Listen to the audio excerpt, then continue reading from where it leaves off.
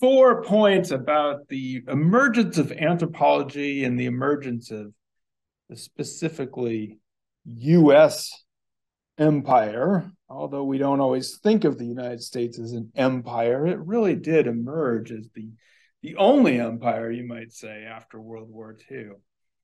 Um, and up until chapter 12, up until through chapter 11 of, of uh, Charles King's book, it was mostly about the prelude to this, which was the expansion of the United States into the West, taking over places that once belonged to indigenous peoples and Native Americans and Spaniards too, carving heads into stones and mountains in South Dakota for no good reason. Anybody ever been here? Mount Rushmore? How was it?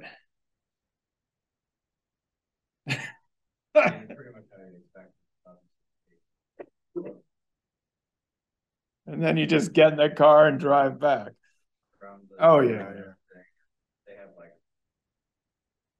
stands with all the information on it. Pretty cool. Yeah, there's another big head I think they're carving of a Sioux person chief or something nearby. I've actually been well, I grew up in Montana, so that's not fair. I was gonna say I've been to this place a couple times, but South Dakota, Montana, it's all the same, right?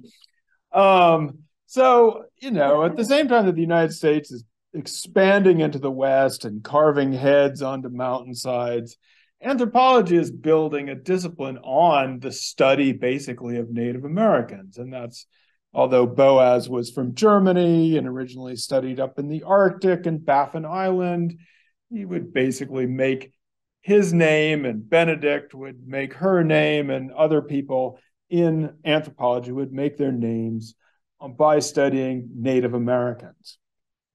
And on the one hand, we could say that in a world that was very ethnocentric and very dismissive and very, uh, very down on indigenous peoples and was removing them from their lands, uh, the anthropology voice perhaps was a little bit more sympathetic.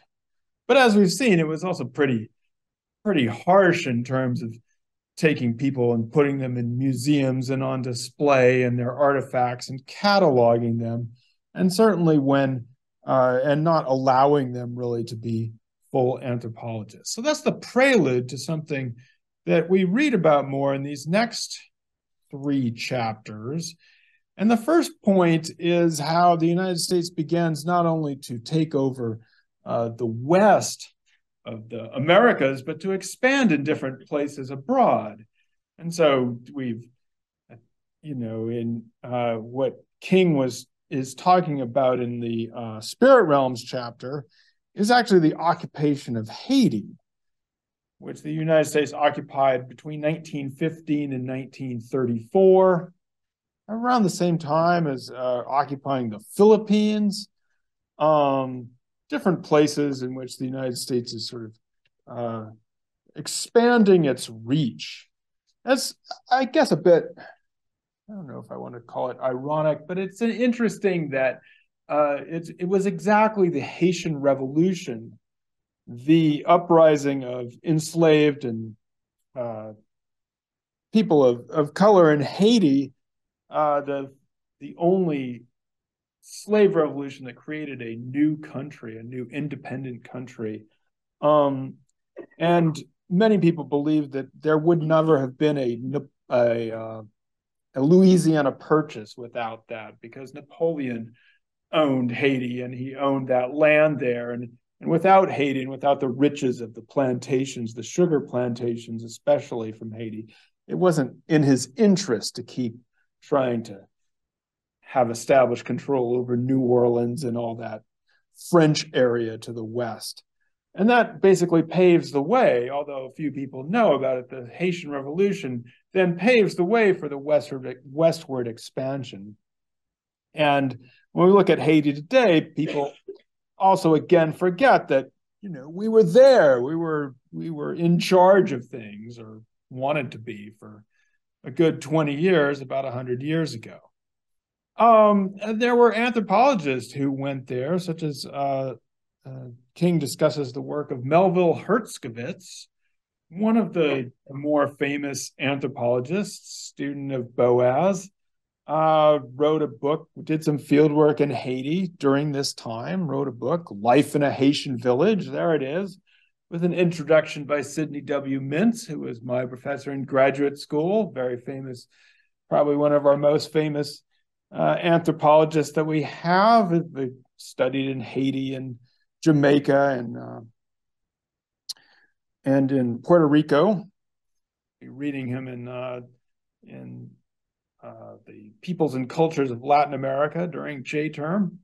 Uh, so here we have a kind of study of what was going on. Now, on the one hand, it, this was a very a pretty sympathetic study of what was going on in Haiti, and as in contrast to many of the most awful, vile, and racist stereotypes that the United States was was justifying their expansion on, namely that they were all involved in primitive voodoo magic and all demonic and all those kinds of things. Uh, Herskovits was trying to argue for the humanity of the Haitians and how much a lot of the customs reflected the traditional uh, traditions of Africa, which were uh, very much on display in Haiti. Um, but as King mentions, he really didn't talk about the fact that the United States was there and there's a whole detachment of Marines uh, fighting rebels and making sure everybody was under control.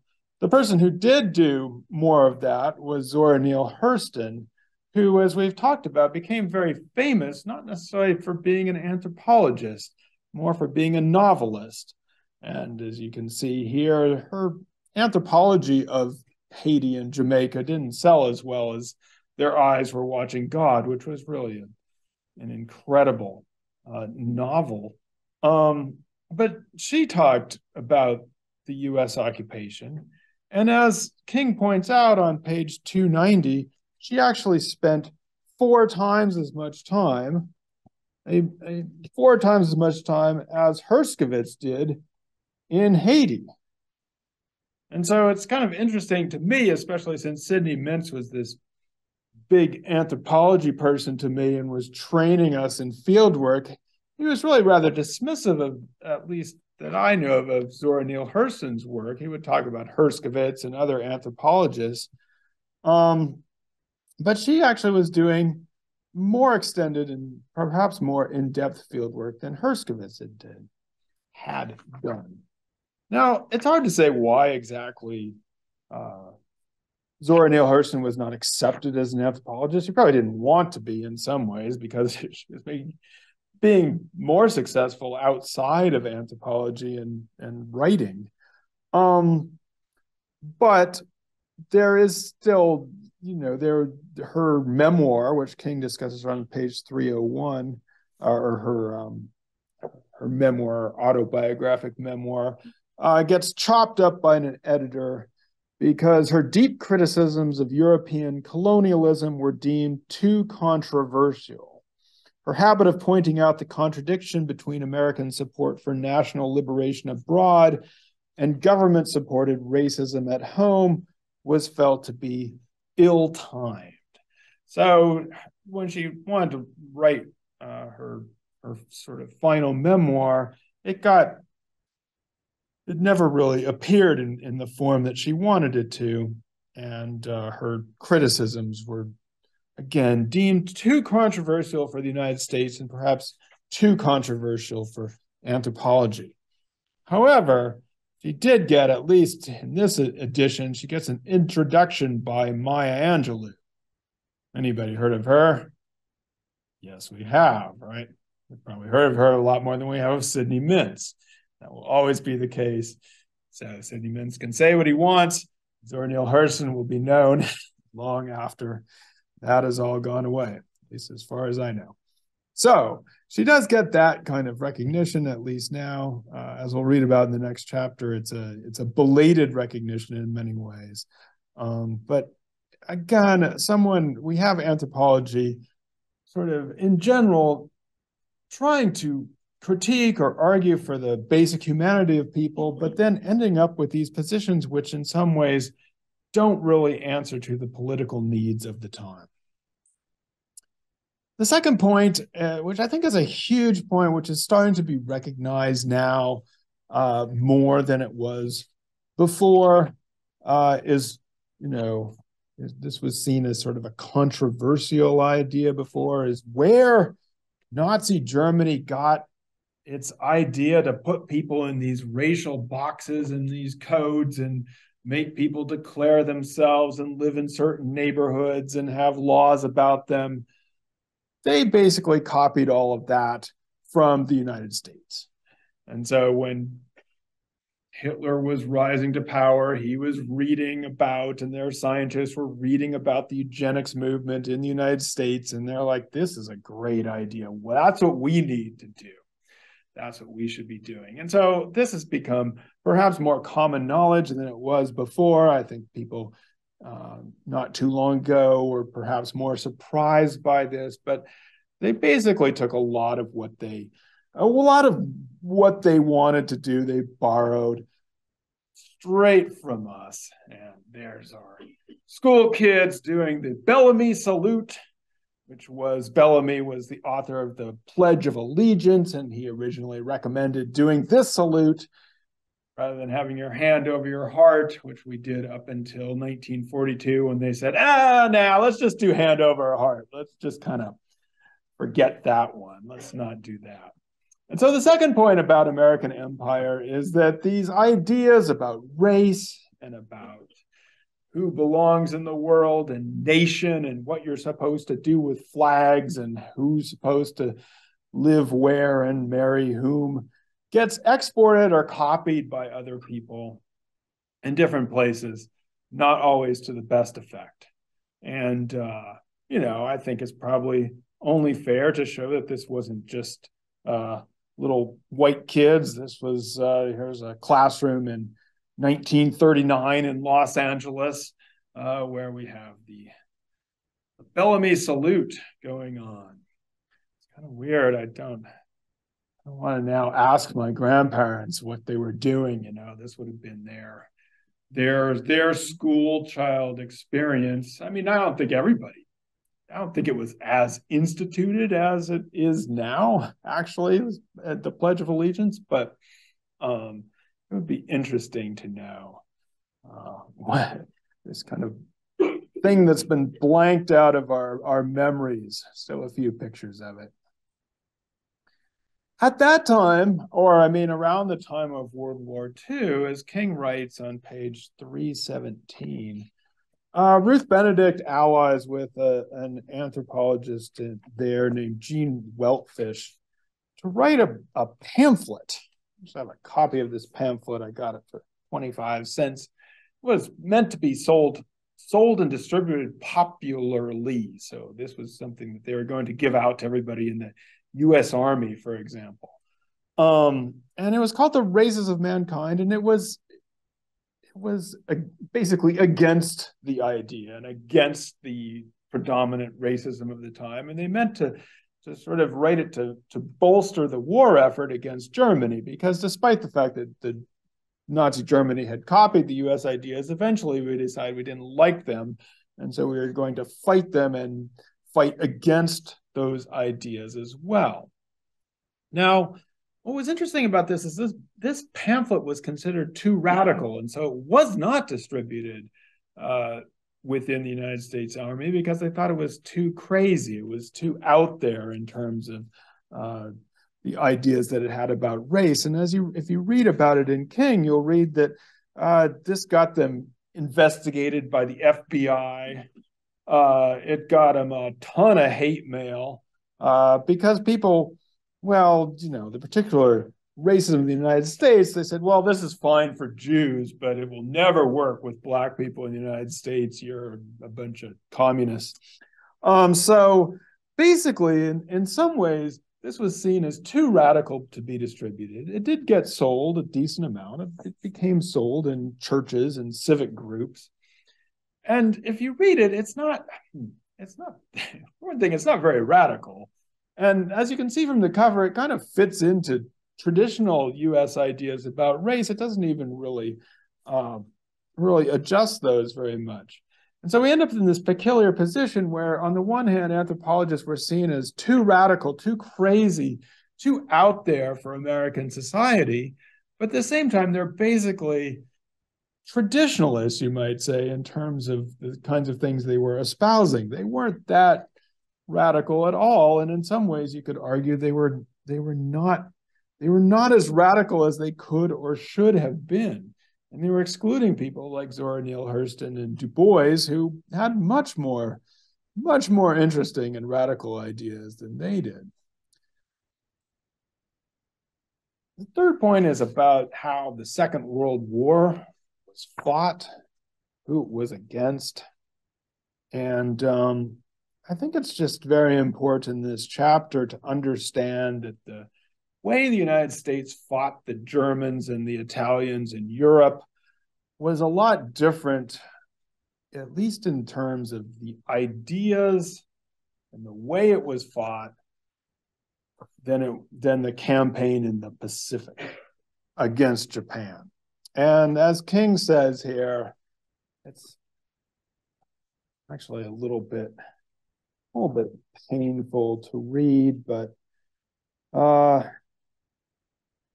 in the Europe, so this is on page 320. The conflict in the Pacific was essentially different from the one in the European theater.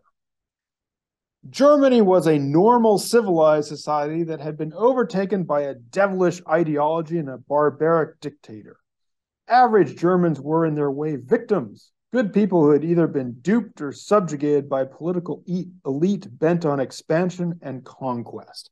That was the idea when we were fighting with the Germans. It wasn't that we were necessarily fighting the German people, we saw them as good people who were simply tricked. Maybe to a certain extent, the Italians too. The war against the Japanese, by contrast, was nothing less than a struggle for racial dominance. This is a quote from Ernie Pyle of celebrated journalist says, quote, in Europe, we felt that our enemies, horrible and deadly as they were, were still people. But out here, and he goes over the Pacific, but out here, I soon gathered the Japanese were seen by American soldiers as something subhuman and repulsive. The way some people feel about cockroaches or mice which is a very different, uh, which results in a, in a, in a different way of thinking about the people who were in the United States as well. And so uh, in this chapter, we have a, a abbreviated account of some of the enormous internment camps that were set up in the United States where we put people, Japanese citizens, uh, were interned uh, during the Second World War actually the uh,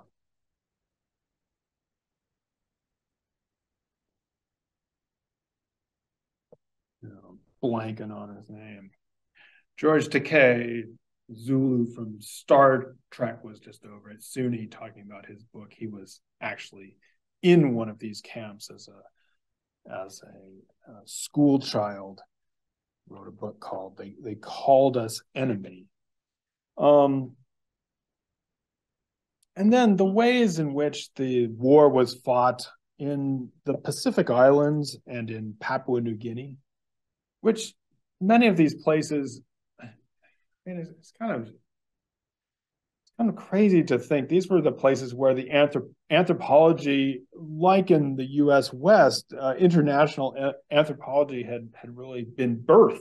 The Trobriand Islands and Malinowski and the Kula Ring, and Margaret Mead and Bateson and and Reo Fortune all traipsing around in their weird love triangles and sex and temperament and uh, coming of age uh, stories. Um, this was where much of anthropology had been had had grown had had emerged. Uh, many of these places were then occupied by the Japanese, and then saw some of the most brutal conflicts, the most grueling campaigns in World War II were fought in Papua New Guinea, uh, recruiting native peoples into both armies, uh, massive bombing campaigns like the world had never seen through some of these islands, just devastated. Um, and you know, it's actually something we we don't really uh, we don't really learn about too much unless you're kind of a war buff. But these places were the places of anthropology, and then anthropologists kind of went back like nothing had happened and filmed Ongka's Big Moka and stuff like that. And of course, then you know the the we tried out one atomic bomb and then we waited three days the united states did and dropped another one and i mean one could say that you know it was, it was okay to drop one because japan wasn't going to surrender but you could have waited a few more days before dropping the second one yeah Yeah, they didn't even know about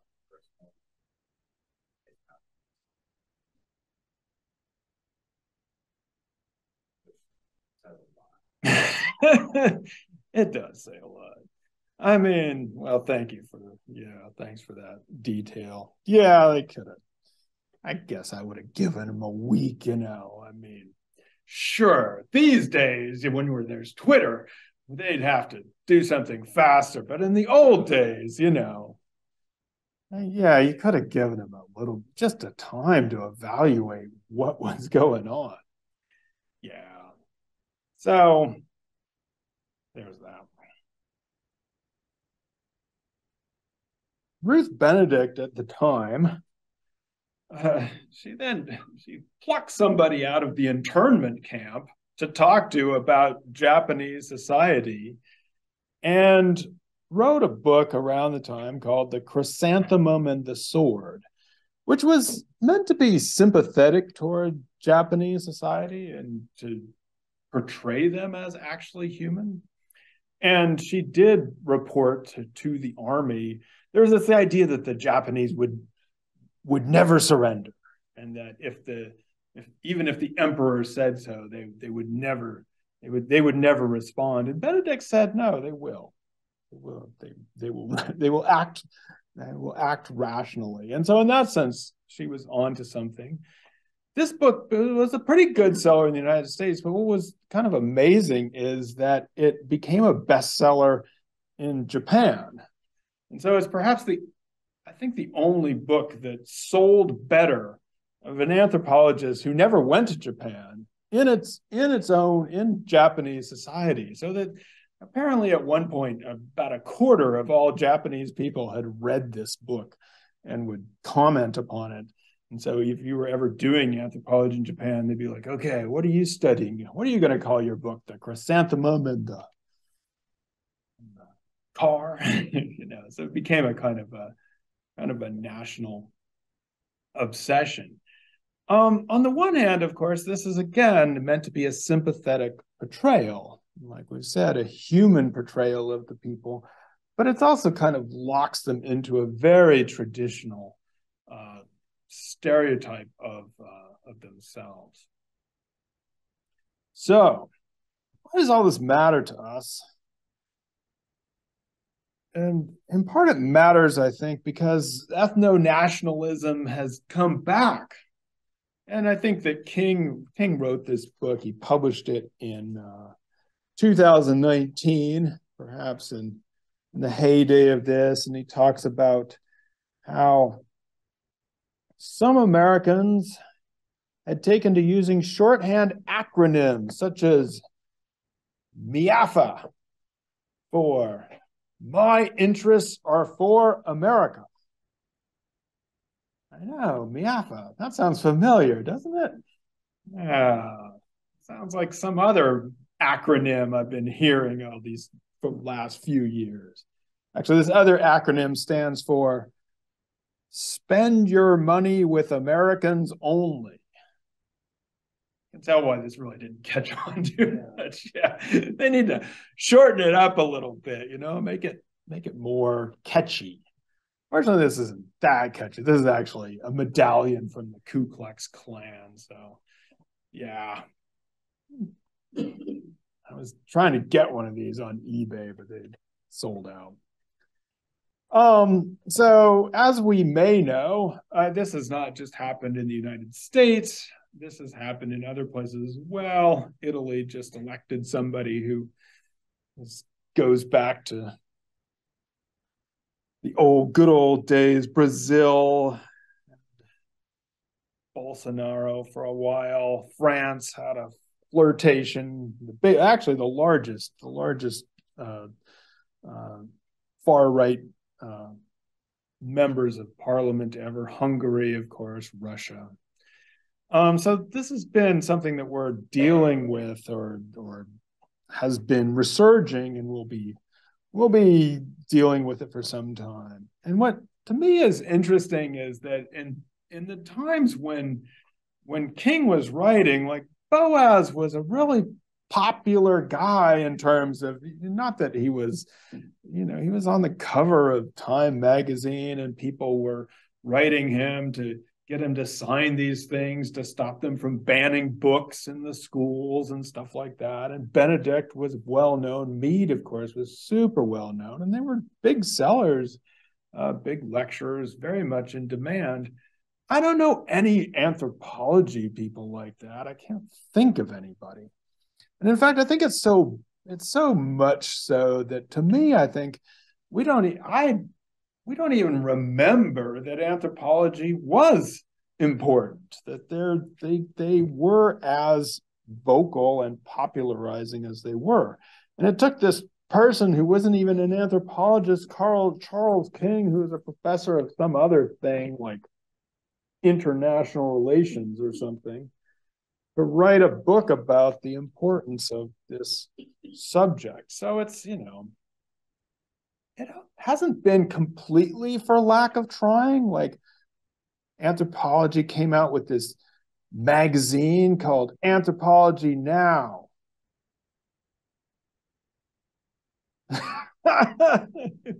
Why, huh? You do. How? Magazines are fun. Magazines are fun. Have you ever read this one? Yes. Why? Apparently, I'm a weird kid. All right. Anybody else ever seen this? Yes. Wow. I didn't think anybody would have read this. One of my friends is a is is a new book editor from that, and she asked me if I wanted to review this book for Anthropology Now and really get it out there. Like, only Liam will read it. I don't know. Is that going to do anything? Yes. Aha, yeah, it's over there. It's over there in Massachusetts. They're strange there. So I haven't decided. I mean, this book did get reviewed in a lot of different places back in 2019, like the New York Times, the New Yorker, Washington Post. So I haven't I haven't decided what to what to really say about that. But I do know that it, this is not, except for Liam, it's not not reaching the same kind of mass audiences that we once thought about. The closest thing I think that we have to a bestseller in anthropology right now is this book, which I've talked about a little bit before with you The Dawn of Everything New History of Humanity